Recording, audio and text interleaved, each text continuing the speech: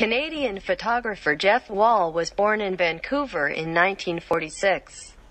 He studied at the University of British Columbia in Vancouver in 1970 and received a master's degree in art.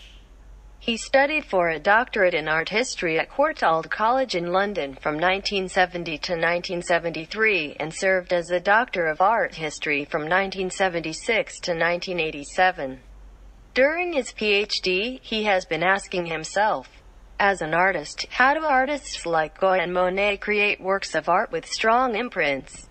What kind of artistic style is the most representative era in contemporary times? The answer he has been seeking for is the use of fluorescent light boxes to show his own photography, a common way of communication in contemporary business societies. But in the hands of Wall, this is a new artistic style, as he said. This is not photography, film, painting, or propaganda. Although it combines the qualities of all these things, his work Destroyed Room was created in 1978 based on the 1827 Delacroix painting, The Death of Sardanapalus. When I first saw his photo, I didn't immediately think of the oil painting below. This mystery can only be seen through careful observation and analysis. In fact, Jeff is not the only contemporary artist chose the classical painting, but he is the most unique artist. In this work, Wall did not use a character, the size reached 2 times 3 meters. The picture was a deliberately destroyed room, scattered clothes and jewelry, slashed mattress, deliberately overturned furniture and torn wallpaper. There is violence behind the scenes. The small sculpture of a dancer in the closet alone, miraculously intact, seems to imply a desire in a disaster. In terms of form, there is no similarity with the original. But the violent bedroom is used to express the cruel picture. Even the bed was broken, and it was obvious that the murderer was deliberately ruined. The bed red was used on a large wall, which also exacerbated the bloody and violent levels of the entire atmosphere.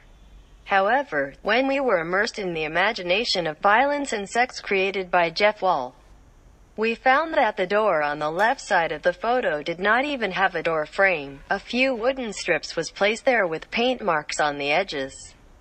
All of these evidence shows it's just a specially built studio. He tells us in this hidden and obvious language that all this is the illusion created by photographers. Another work, 1999. The Invisible Man of Ralph Ellison, Prelude, inspired by the American novel Invisible Man of the 1950s, photographed a black man sitting alone in the basement. 1369 bulbs in the room illuminating the darkness of the darkness and warmth. The audience did not feel the slightest joy, but the loneliness and loneliness that swept through. On the contrary, it is the loneliness and desolateness that swept through. The characters in the photo persuaded their presence with extraordinary light.